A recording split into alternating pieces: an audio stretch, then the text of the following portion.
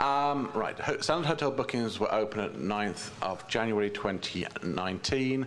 We are still working on the exact time. We're trying to figure out what the best time to open is to give the maximum access to the maximum number of parts of the planet. Um, there will be an earlier opening on the 8th of December for people with access needs so they can get into the hotels they actually need to get into. Thank you. Any further questions for Ireland? Seeing none, thank you very much. Thank you very much, everybody.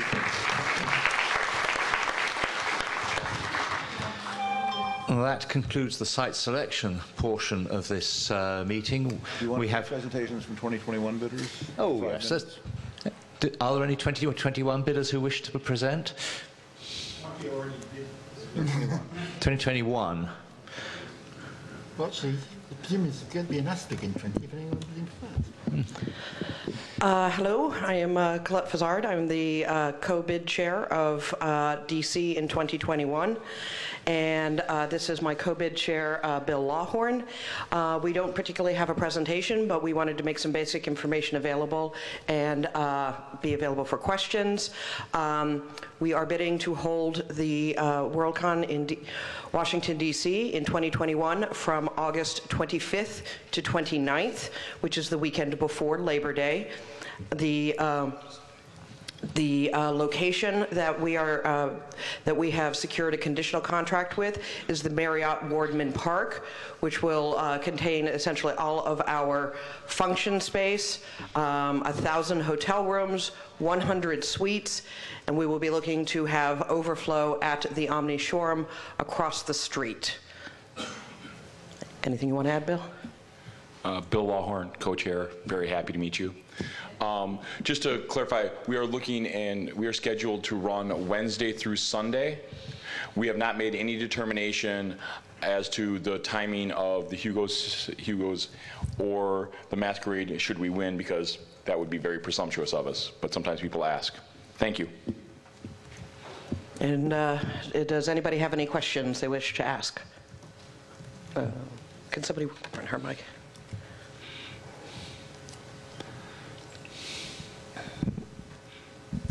Uh, Sue Francis, uh, my question is, are you going to have overflow days uh, before and after the convention?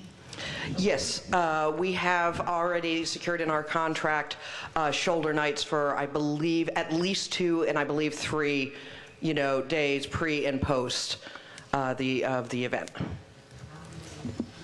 Bill Lawhorn, just adding, um, we have full run of the hotel starting on Wednesday night. We have half their block on the Tuesday night, which is before we start. And it- right now, it's about 100 rooms that are scheduled for Monday. They're not willing to give us more at this time because they're, of course, hoping another convention will drop in in between so they can fill up, all- they have those rooms available. But the closer we get, the more likely they are going to be willing to add to our room block on those shoulder nights. And we have some really exciting things we're planning to do pre-convention for people who can come in town early.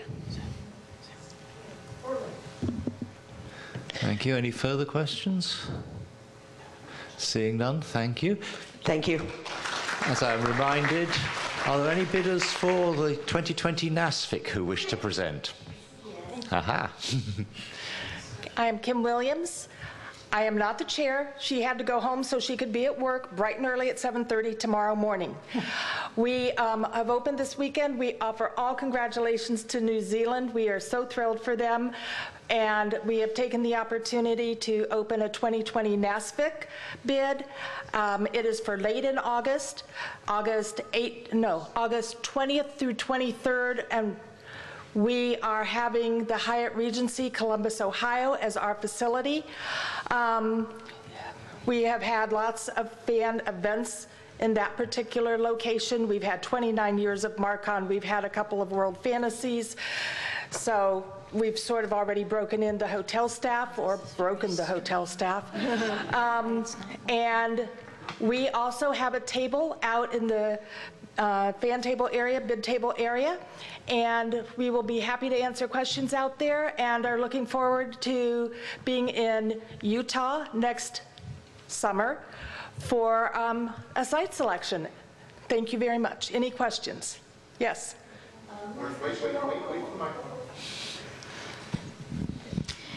Hello, Kim. Judith Bemis. Um, who is the chair who had to go home early? Lisa Garrison is the chair. I, I really told her that was a good idea. Any other questions? Bid chair or chair? Bid chair or chair She is both bid chair and convention chair. Should we win. Any other questions?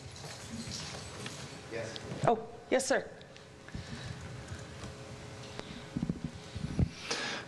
Sort of speaking for 2019's NASFIC. Just a reminder to everyone that because of the way the WSFS Constitution works, the 2020 NASFIC site selection feedback uh, will be held at the 2019 NASFIC in Utah. You must be a member of the 2019 NASFIC and only the 2019 NASFIC in order to vote in this election. Members of the 2019 WorldCon are not eligible to vote on the 2019, I mean, the 2020 NASFIC election. I think I got that right. Thank- You did. Okay.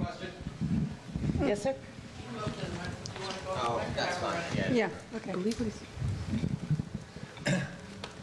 Jay Spitzer, uh, just to clarify that last point, do you need to be a full member of the 2019 NASFIC? No, or- you need to be a supporting member Thank you. to vote.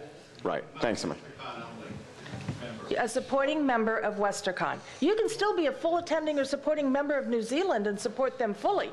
But in order to vote for NASFIC, you need to be a supporting member of the 2019 NASFIC.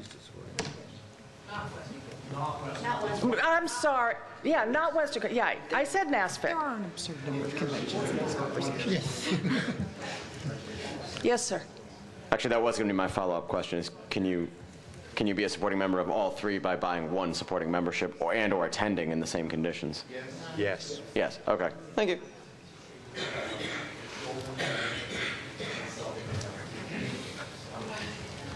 Ben uh, just for people's information, since these questions have come up, I will be the site selection administrator for the dual elections of the WesterCon two years from that, two years from then, and the NASFIC for 2020 and all of the information about filing deadlines and everything like that will be on the web page. There will be separate addresses, but they all flow through to me anyhow. Yay. Thank you very much. Thank you. Are there any bids for WorldCons or NASFICs beyond 2021 who wish to say something briefly? Dave?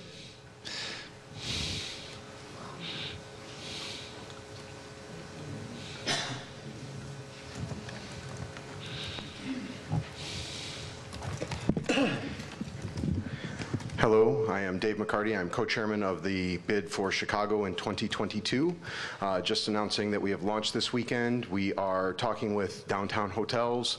We have really exciting offers, but I don't have firm dates yet, although being Chicago, I can promise you guys it's almost certainly going to be the Labor Day holiday weekend. And I am celebrating a giant financial windfall since we uh, decided that everybody that attended this meeting was on our bid committee, and you, you owe us $350 if you pay this weekend, or $400 if you don't pay us this weekend. And boy, we are going to be well-funded.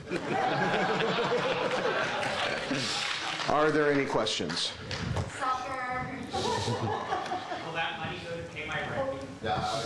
No, no, no, no.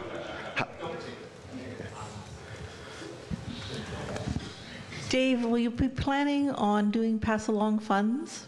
Uh, We have participated in pass-along funds every time before. We're still putting together the group of people who will officially decide. However, I will beat up anybody that tries to say we're not doing pass-along funds. Any other questions? All right, I'll stop taking your time, and I will look forward to getting all of your money. Thank you. Any more bidders for the future conventions? Seeing none, we'll close the site selection portion of the meeting. We do have two items of regular business to deal with this morning. Um, we are bound not to take up the professional fan artist Hugo